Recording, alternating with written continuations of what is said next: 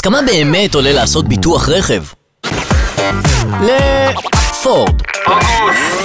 לשני נהגים או נהגת אחת?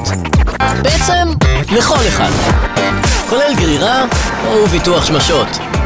3,200 שקלים, אולי יותר, אולי פחות. לפני שעושים ביטוח, תמיד כדאי להשוות. היכנסו לוובי, השוו אונליין בין מגוון הצעות הביטוח שבאתר, ותוכלו לבחור את הטובה ביותר בעבורכם. וובי, משווים וקונים ביטוח.